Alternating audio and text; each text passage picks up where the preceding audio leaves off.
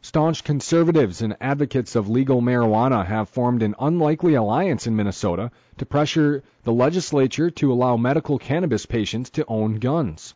The more than 35,000 patients in Minnesota's program can't own guns as the law now stands because the federal government classifies marijuana as an illicit drug on par with heroin.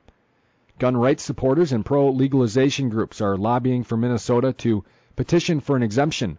if they succeed, the Star Tribune reports, Minnesota would be the first of 36 states that allow medical marijuana in some form to appeal directly to the federal government on behalf of enrollees.